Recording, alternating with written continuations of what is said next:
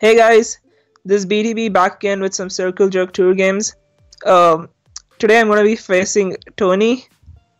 I, I'm not uploading the fourth and fifth game as uh, the fourth game wasn't really that good and it was against my good buddy Easy, but uh, yeah, the game wasn't that good because he misplaced like throughout and it wasn't that entertaining to watch. And uh, the fifth game was like one of my favorite battles of all time because it was just hyper offense versus hyper offense and it'll be linked below in the description because Dokkerich already got that live. Um, but yeah, today I'm going to be facing Tony, who's my sixth opponent, and I'm currently 5 0. So I'll obviously be trying to get a win here so I can, like, yeah, be 6 0. And hopefully make sh- make sure that our team like moves forward. Um, and yeah, hopefully we can like win the entire thing. Uh, if like if I win, then we need like I need then the team will need like two more people to win this. So yeah. So uh, when I like uh, initially heard about Tony uh, for my prep, uh, I heard that he was a YouTuber, so I thought I could scout him well. But uh, the last video he uploaded was like nine months ago, so I couldn't get much information from that. But uh, you know, our real nigga Dokkerich, he always like gets me good replays, and he was able to get me a nice replay of. Uh, yeah, he got me a couple of replays. That is, one was Tony in SPL, and uh, one was uh, Tony versus Empo in OUPL or something. So I I saw uh, from these two replays which I saw, I could like uh, gauge from those two replays that he's a pretty aggressive player uh, just like me. And um, the thing which I saw about him was he used a Scizor in both the games, so I anticipated him to bring a Scizor in the game. And yeah, so I wanted to build around uh, HP Fire Mega, Mega Metagross because I thought he would he might bring a Mega Scizor again, and I didn't anticipate him to bring a stall. So yeah, I made I'm, this this team is like pretty stall weak. Um, I had initially Specs Lele, Lele over Dugtrio, but just just in case he decided to bring some um, stall or something some bit something fat, I just wanted to trap the Chansey or the Toxapex with Dugtrio. So uh, I added a Ground Z Dugtrio with a Ch- Choice Specs Lele, but uh, since he br- brought this uh, TDK balance, uh, which I didn't know again at the time, I didn't know this was an RMT like uh, the previous games, but after I like showed this game to Doc, he told me that uh, this is an RMT. Uh, so yeah, so I wasn't like sure about. Yeah, this, this is a sample team, I guess. Yeah, this is not an RMT. This is a sample team. Um, so yeah, um, I could have just like um, known the sets already, but um, anyways, it makes the more, game more interesting that I didn't know the sets. So yeah, that's that's something I guess. And yeah, I've already told you guys before that it's like more fun to play just by not knowing the sets because the randomness factor is still in the game, so it's pretty entertaining. So I have a Scarf Keldeo because yeah, Scarf Keldeo is good in this meta. I think I have a Rocky Helmet Lando, uh, AV Tang, and a Zapdos. And a Zap- I mainly have Zapdos. Uh, it's uh, Volt Switch Heatwave, Defog, Roost. Uh, I probably should not have carried Defog and I should have just carried HP Ice, but in case he does, because I know he's an aggressive player and in case he decided to bring something like Sticky Webs, I did not want to lose straight out, so I had Defog on it. Uh, yeah, so that's like that's that's basically my team, and uh, it was basically built around Me- HP Fire Mega Metagross, and I had uh, Choice Specs, Lele, or Dugtrio but uh, just in case he decides to bring something fat um, I just I just got the Dugtrio in, and I have no me- good Mega Metagross switch-ins as well. So, uh, so if I had Dugtrio, uh, and if I got off a Volt Switch on Mega Mega Metagross, or if I got off a U-turn, or if I just brought, brought in the Dugtrio on a Mega Mega Metagross in case he decided to bring it, I could like uh, Z ground Z ground that uh, like Z Earthquake that and knock it out in a hit. So, yeah that was basically the plan and i look at his team composition and i'm like uh, he might probably decide to re- lead with something uh, that gives him aggression straight on turn one or something that is going to give him momentum like the Scizor or uh, zapdos So I just decide to lead with my Keldeo as he leads with his Scizor. And uh, yeah, here the Amoonguss is like pretty free here. So I decide to double out into my Landorus. And uh, he goes on as Amoonguss. And I don't need the Landorus for anything. So I want to like let this go to let this uh, Landorus go to bed. So I just go for the ro uh, rocks here. No, no, no. I, I yeah, I go for the rocks here, right? So and and um I double out here into my own Zapdos because I know I can take uh, two HP ices with ease and I can just roost it off and if he's like offensive um, a Zapdos I didn't want my Landorus to get knocked out so yeah pretty uh, straightforward plays there and here he goes out in his Scizor, and I just heat wave here because um, uh, he because usually if I'm a because he might like stay in or because he's so aggressive and he might just U-turn and if I like HP Ice on the Mega Scizor, I lose momentum, but I don't even have HP Ice because I already told you guys I'm defog. Um, yeah, so here I go for the Heat Wave, and I, I obviously don't want to uh, like fodder my sleep fodder my Zapdos here, so yeah, I just go for the Volt Switch here, and I uh, go out into my Tangrowth as he goes for the Toxic. So um, this is a Toxic Spore Amoonguss uh, with Giga Drain and uh, HP Fire, I guess. So yeah, so that that was a set which I initially didn't know. So Toxic and Amoonguss like uh, threw me back because that was like unexpected for me. So uh, here I just decided to go for the uh, knockoff, I guess. Uh, as he goes out of his Scizor and uh, I lose some momentum there, but I thought he might stay in and go for the Sludge Bomb there and if getting rid of Amoonguss uh, Black Sludge might be huge for my team because like if I can weaken the Amoonguss uh, and if I can get off a Burn on the Amoonguss with Keldeo, then his his team is like pretty significantly weaker to my Keldeo. So yeah, that was a game plan going into it, but he just switches out his Scizor, so I lose some momentum there. But uh, that's not a problem because I can just go back into my Landorus here as he uh, opts to keep momentum. No, he no no he goes for the Roost here. So yeah, I just go for the EQ here as he does not defog, but he goes for the U-turn. Uh, opting to keep momentum or in case I went for the SD or something like that. So he goes out in his uh, Greninja here and his Greninja here basically has a free Hydro Pump or a U-turn or uh, or a free Dark Pulse because Tangrowth is like a switch in but since it's toxic I really don't want to risk my Tangrowth at this point. So I just go out my Keldeo as he goes for the Dark Pulse I believe yeah, he goes for the Dark Pulse here. So, um, okay. So this is like one of the two crucial things that happens in this game. So, uh, he since he goes for the Dark Pulse here, and I know he's not going to stay in. Like I'm pretty confident he's not going to stay in because he has like three switch-ins to this, and I can easily go ahead into my Mega Metagross to get like lots of momentum on most things like if he go if he decides to go out in the Amoonguss, I can like go out into my Mega Metagross and uh, possibly bluff uh, Zen Headbutt. Though I don't think I have Zen Head, but My set is basically uh, EQ, HP Fire, uh, Ice Punch, and Meteor Mash. Uh, so yeah, so uh, so I can like double. I think I should double out, but I think of this move for like a few few seconds, but from from like the watching the replays and how from the style he plays, he likes to double around a lot, and he's like overly ag- aggressive like uh, me.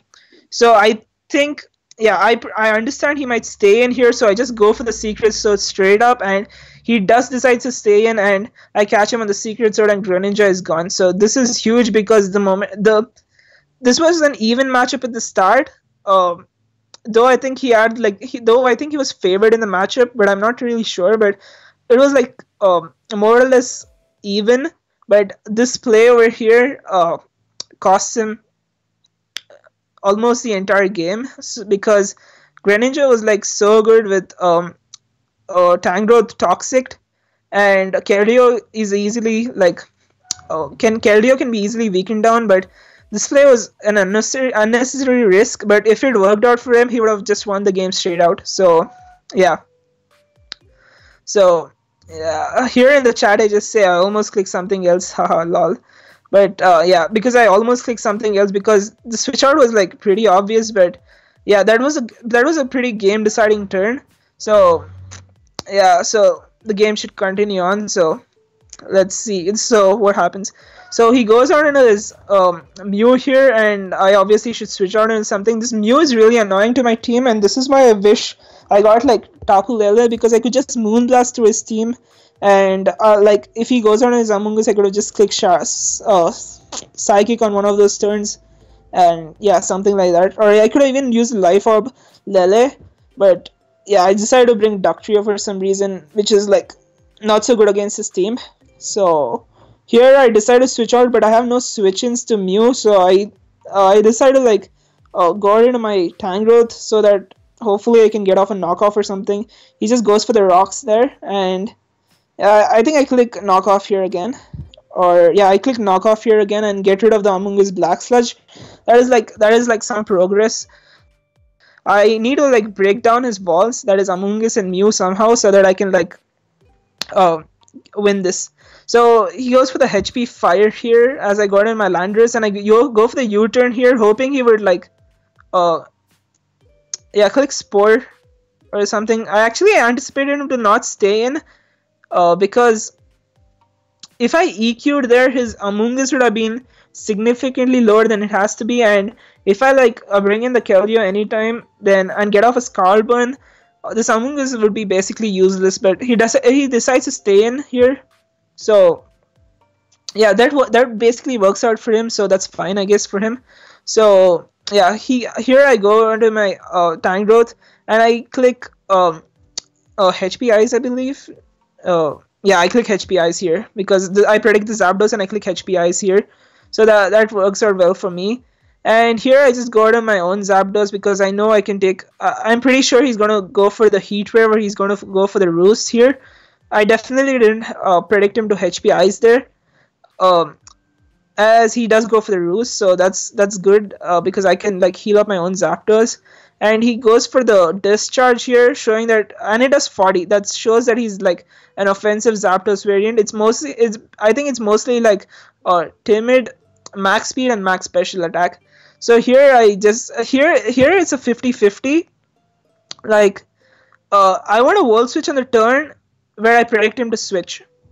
So that's what I'm that's what I'm thinking. So I thought he might go for the discharge once again, and uh, hence I decided to uh, roost there. But I lose the 50-50 as he straight goes out into Amoonguss. But uh, that's not a huge loss for me. Like it, it's just a small 50-50 loss. Like it's not a big it's not a big deal. I can just like go into something else.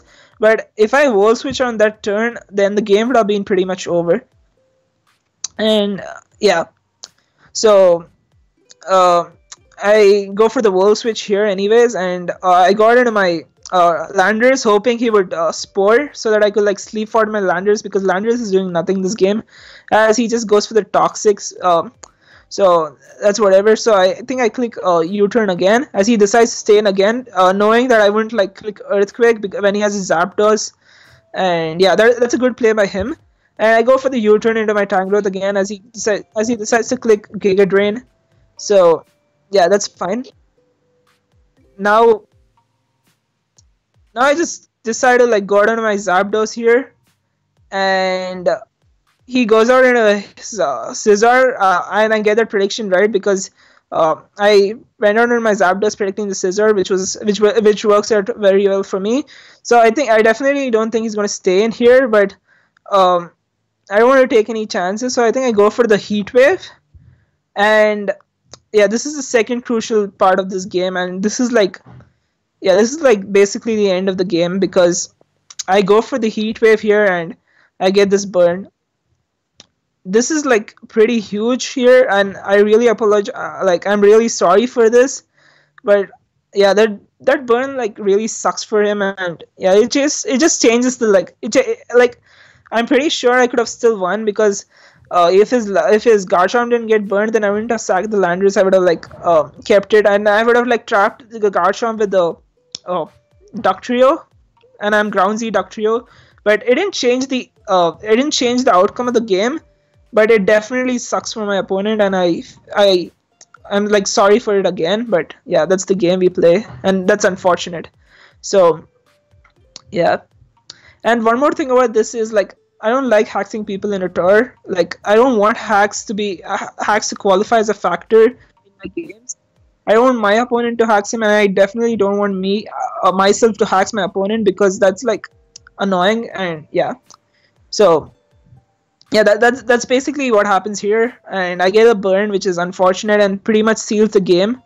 And uh, so here I anticipate him to like uh, go into his Amoonguss and volt Switch. Yeah, I just stay in and I click volt Switch here because a burned Garchomp is not doing anything to a Zapdos, and I definitely think he's going to switch out here. So I just click Volt Switch here as he goes onto the Amoonguss, and I just trap the Amoonguss with uh, Dugtrio and kill it with the knock Earthquake. So here he goes on his Zapdos. And the important thing here is I do have Toxic on my Dugtrio. And I could go for the Toxic here, but if he HP Ices and knocks my Dugtrio out, then I'm not in a I'm not in a good position. So, like since I already know his Garchomp is burned, I can definitely afford to like uh, let my Landorus go down because Landorus is not going to be doing anything much in this game. If I would not have gotten the burnt, I would have probably like sacked my Tangrowth because Tangrowth isn't doing anything in this game as well. And yeah, I would have continued from there. But since since the Garchomp is burn, burned and it's not going to be doing anything this game, I just decided to sack off my Landorus. So here he's like at 82% health, and I know he's like um, offensive. So I go into my Metagross and click Ice Punch here, I believe.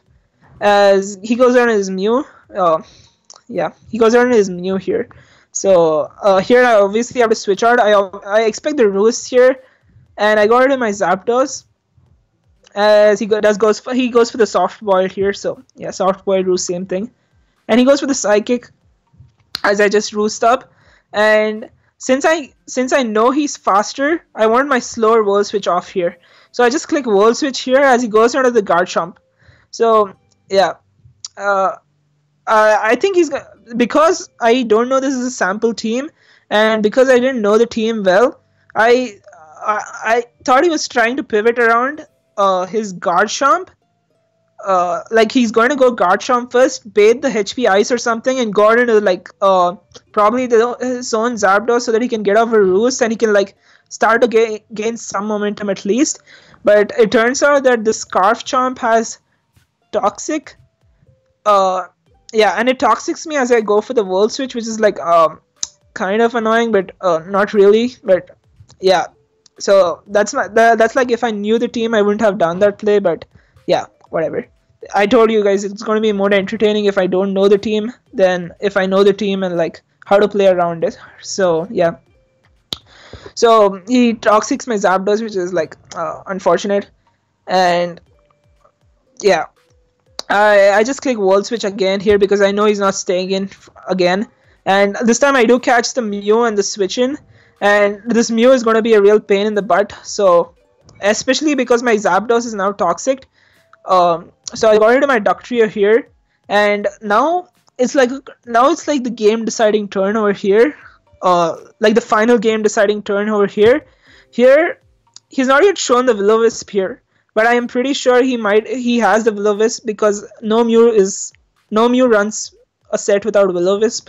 Other than if you're like nasty plot, but he's already shown rocks on the set and he's shown psychic. I'm pretty sure he's gonna have Will-O-Wisp uh, along as his last move. Or like a lot of setup sweepers could just set up and like sweep through his team. So it makes a lot of sense to him for him to have Will-O-Wisp.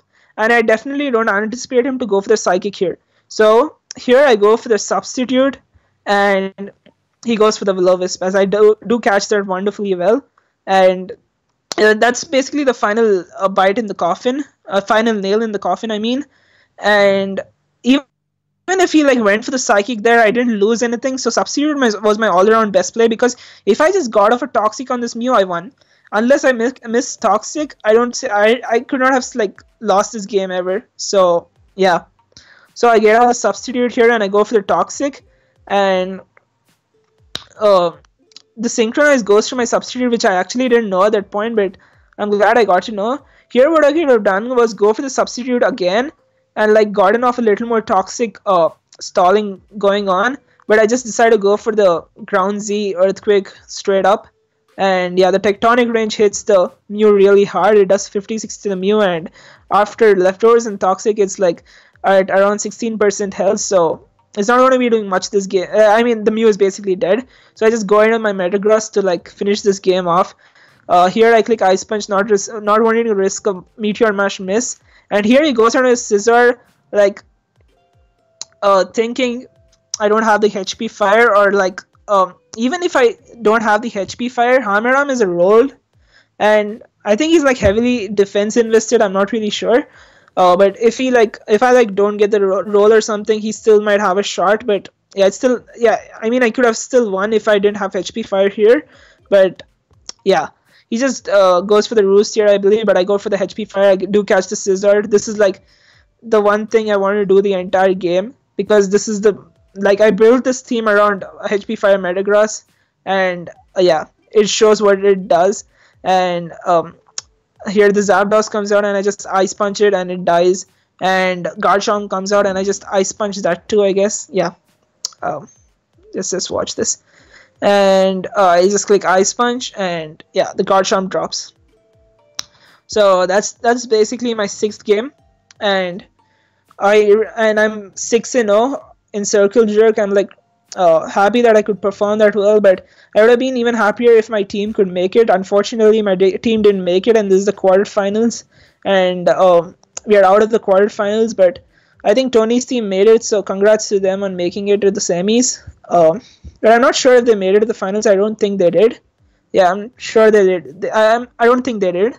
But they made it to the semis. They beat us like 3-2 uh, me and Colin uh, picked up the wins, and Colin also Colin has a good win loss of five one, I guess, and Paycard has a win loss of like uh, three no yeah three three, and Tessa has a win loss of like uh, four two or something, and ADF test went zero and four. Uh, like all she had to do was win this one game for us so that we could like move on to the semis. And like on like honestly in the previous two games uh, we didn't even we won all three games. Like all three of us just won all three games and we didn't even let her had to make her have to play but uh, that's unfortunate i guess. Uh, so it's like whatever. Uh, it's annoying when a teammate like doesn't listen or just brings random stuff and goes 0 and 4 but whatever uh, I'm I'm like still glad. I was like initially when I joined this tour, I wasn't really interested in playing or anything like that. Uh, I was just memeing. I was wanted a meme or something, but then I was like, I met my teammates and they were like, okay, all cool types. And I only Colin was the only one I knew, and I knew ADF test. And here I met Paycard and Tesso were like pretty cool. So I'm like, okay, so we have a cool team, so let's just win this. But yeah, I, I'm like happy with my overall team's performance, and yeah, except like except one, I thought who could have done much much better, and yeah, so the we are out of this circle jerk tour, but I had a good run of six and zero, oh, so probably I'll be looking next forward towards World Cup, and I'll be probably playing for Team Asia, so I'll be looking to perform well over there and yeah, hopefully I can go undefeated there as well. So this is this is the final sixth game of Circle Jerk. So yeah, I hope you guys enjoy this series and stay tuned for more Dokkerich videos. Alright guys, peace.